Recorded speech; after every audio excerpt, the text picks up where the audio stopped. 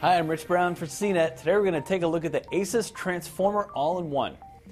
So this is a really unique new system from Asus. It's going to be available in April for $12.99, and it's probably one of the more involved desktops we've ever reviewed here. In its standard configuration, which you see here, it's a pretty simple system. It's Windows 8, you have a wireless mouse and keyboard, it's an 18.4 inch screen with a 19 by 10 resolution. There's a Core i5 chip inside it, a terabyte hard drive, 8 gigs of memory, as well as the more or less expected ports from USB 3, analog audio out, SD card, etc., etc. So 18.4 inches is definitely small for a standard all-in-one in this price range. What you also get with this system is an Android tablet. I can push a button on the side and swap over to the Android's 4.1 Jelly Bean OS. You can see it here. Then the screen comes off, and I have a pretty gigantic tablet to take around the house. And the reason that works is because there's an NVIDIA Tegra 3 chip inside this display which lets the system function by itself. So we've seen a couple other systems like this. There's a system from Lenovo coming out later this year, and Sony already put one out uh, during the launch of Windows 8 last year. So, like that Sony, the idea with this Asus system is that you're not really going to take this tablet out on the train or really in anywhere where it's going to be a true mobile device.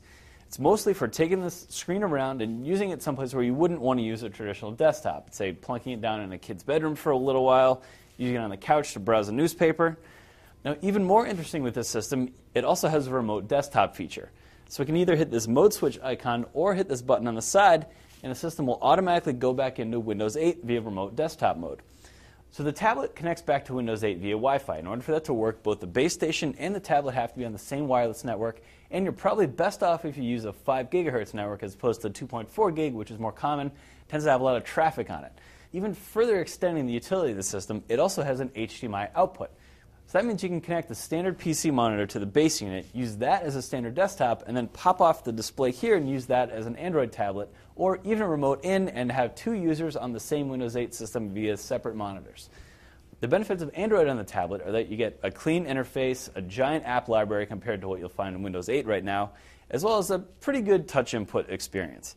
It's also interesting to have the tablet and the base station sort of work as two separate computers if you want. But it, overall, the concept seems like it would be a little smoother if it just ran Windows 8 throughout. Granted, then you wouldn't have the multi user experience, but there'd be a lot less fiddling and back and forth between the different OSs, and it'd probably be generally an easier concept for people to understand. It's also worth pointing out that the tablet is heavy. It's not as heavy as the Sony Vaio Tap 20, actually, which came in just under 12 pounds. This is about 5.6 pounds. So for battery life, we found that the tablet has just under five hours of use if you want to use it for watching movies, and in Windows 8 remote desktop mode, it comes in at about three and a half hours, so there's definitely a drop off there. So ultimately, of course, the question is who should buy this thing? And right now, it's kind of hard to say. We're going to have Intel coming out with the next generation of CPUs in the next six months or so. They promise better performance, better battery life, and hopefully smaller, more lightweight versions of systems like this. Other vendors are also working on PCs with similar design in that it's an all-in-one and a tablet. There's various iterations of how you can do that, of course. But I think by the end of this year, we will see a whole fleet of PCs like this, and we'll kind of have a better idea of what we want, what we expect, and what a good price is. So, all that said, I can recommend the system if you like the idea of a big tablet and you want sort of an extendable desktop and you like Android. For the mainstream consumer, though, the system is probably a bit too expensive to recommend, particularly with so many other PCs like it coming out of the next few months. So I'm Rich Brown. This is the Asus Transformer All-in-One.